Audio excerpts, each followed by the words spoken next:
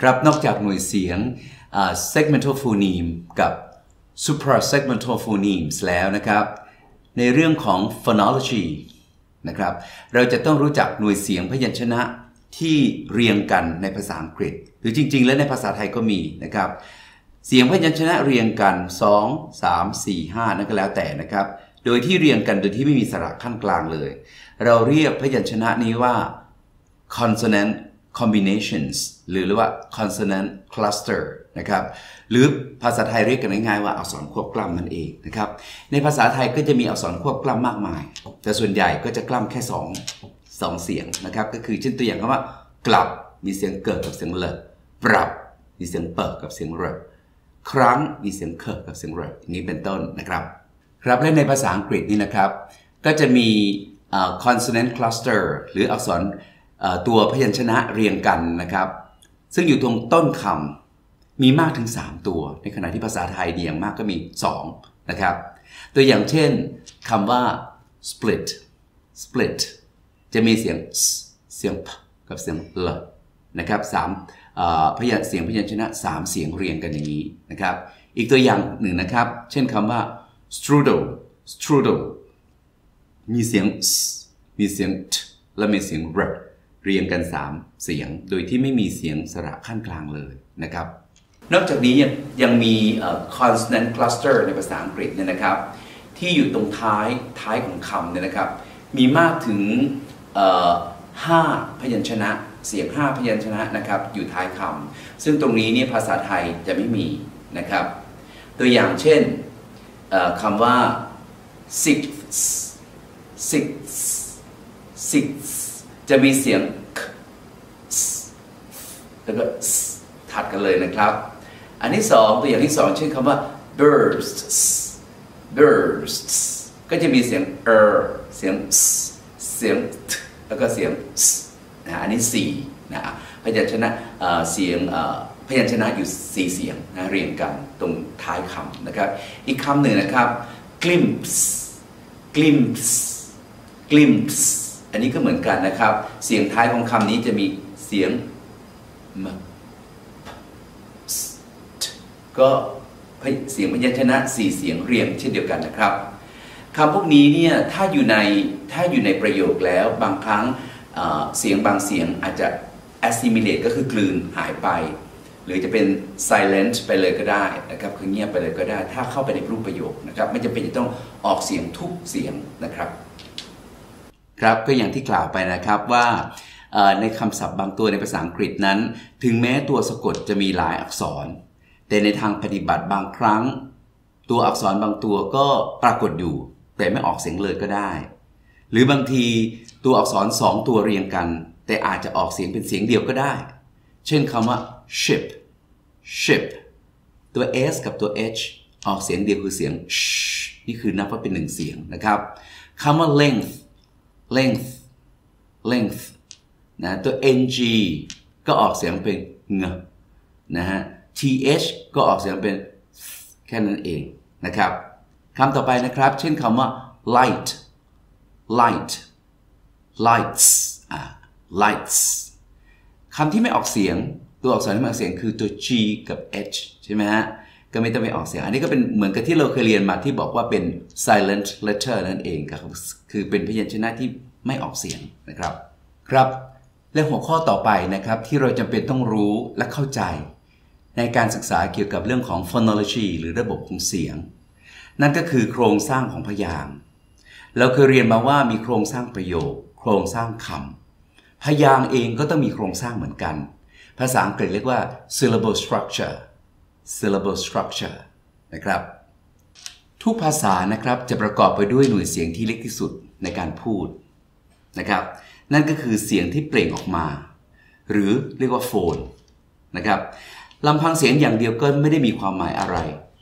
ต่อเมื่อเสียงหลาย ๆ เสียงมาเชื่อมต่อกัน ตามระบบของภาษาแต่ละภาษา จึงมีความหมายเกิดขึ้นนะครับ ดังนั้นในภาษาอังกฤษจึงมีสูตรของโครงสร้างพยางค์เกิดขึ้นมา ดังที่เห็นในภาพนี้นะครับ เพื่อที่จะได้นำมาวิเคราะห์ว่า แต่ละพยางค์ในภาษาอังกฤษนั้นประกอบด้วยกี่หน่วยเสียง ในภาพนะครับจะมีตัว C ในโครงสร้างนะครับ หมายถึงเสียงพยัญชนะ consonant และตัว V หมายถึงเสียงสระหรือ vowels นั่นเอง จากภาพโครงสร้างพยางนะครับที่เห็นกันอยู่นะครับ แสดงให้เห็นว่าแต่ละพยางเนี่ยนะครับจำเป็นจะต้องประกอบด้วยเสียงสระอย่างน้อยหนึ่งเสียง ซึ่งจะไม่มีไม่ได้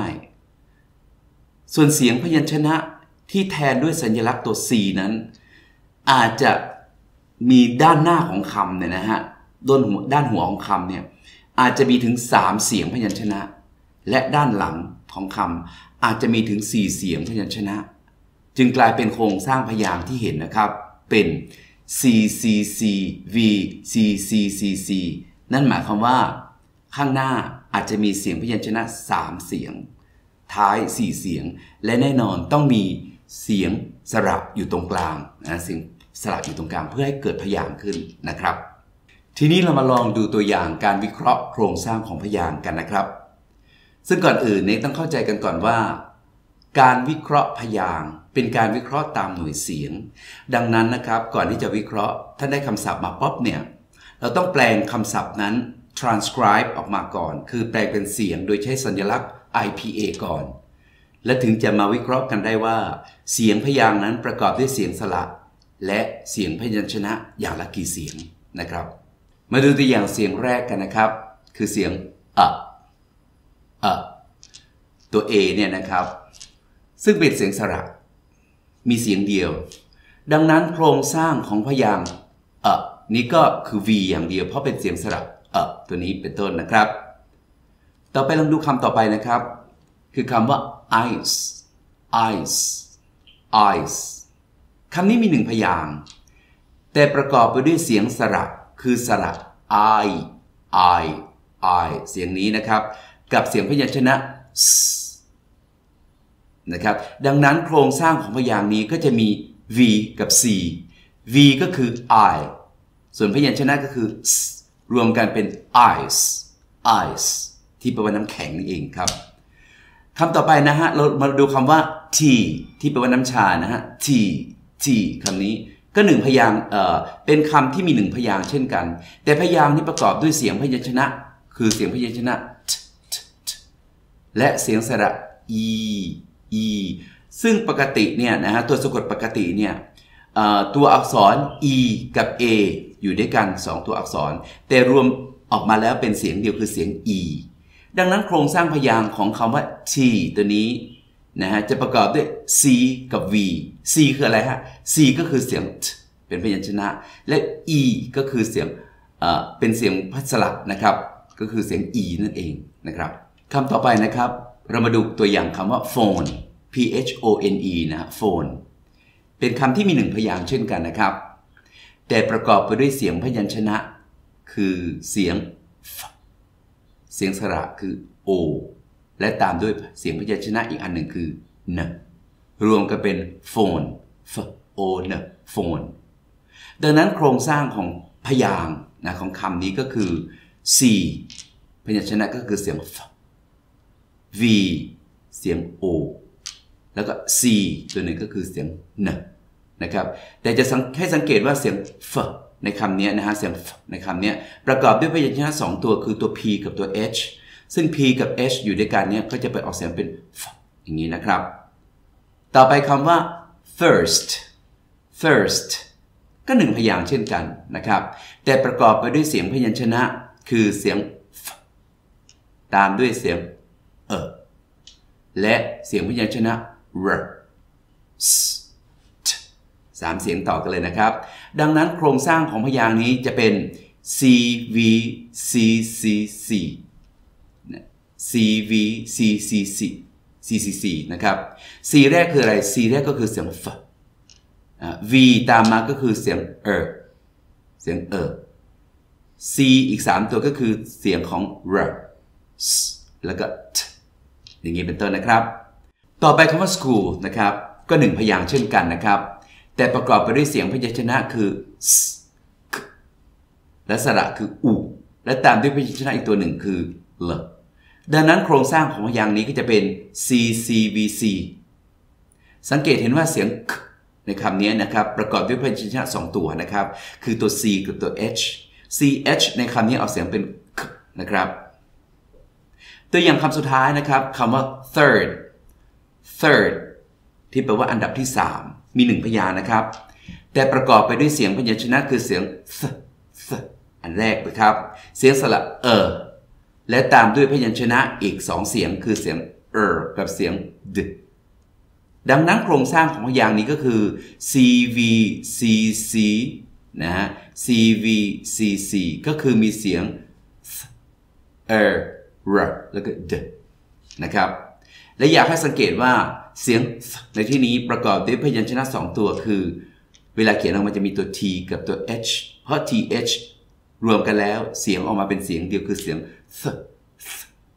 เสียงนี้นะครับ ครับผม สรุปแล้วเรื่องของ phonology หรือสัตวิทยาเนี่ยนะครับ ซึ่งเป็นการศึกษาเกี่ยวกับ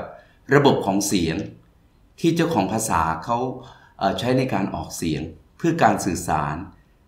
ให้ความชัดเจน และเข้าใจได้ดียิ่งขึ้น ซึ่งจะประกอบไปด้วยเรื่องราวของหน่วยเสียงสระ หน่วยเสียงพยัญชนะ รวมทั้งหน่วยเสียงอื่น ๆ ที่มีผลต่อความหมายของคำ ซึ่งได้แก่การเน้นเสียงหนักเบานะครับ หรือเรียกว่า stress วรรณยุกต์หรือโทน ท่วงทำนอง หรือ intonation ทั้งหมดนี้ล้วนมีความสำคัญที่ผู้เรียนภาษาจะต้องทราบ และนำไปใช้เพื่อพัฒนาการออกเสียงของตนเอง รวมทั้งเพื่อพัฒนาการฟังด้วยนะครับ จะได้มีประสิทธิภาพยิ่งขึ้น ครับผม หวังว่าผู้เรียนคงจะพอเข้าใจ